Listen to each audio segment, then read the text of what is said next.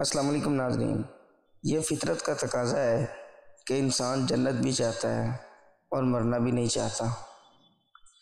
हर महबूब चीज़ का ये फ़ायदा है कि इंसान को हासिल करने के बदले में अपने आप को उसके हवाले कर देता है।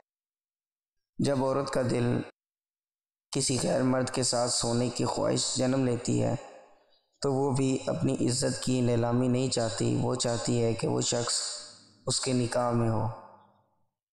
बेहतरीन निकाह वो है जिसमें किसी लड़की के बाप पर बोझ न डाला जाए। जल्दी फंस जाने वाली औरतों में ये तीन औरतें शुमार होती हैं। नंबर एक, जिस औरत के पास पैसों की कमी हो। नंबर दो, जिस औरत का रंग सांवला हो। नंबर तीन, जो कम पढ़ी लिखी हो। मुस्कुराहट इंसान की रूह का दरवाज़ा खोल देती है। फिर दोस्तों, मज़ीद ऐसी वीडियोज़ जानने के लिए हमारा चैनल ज़रूर सब्सक्राइब करें।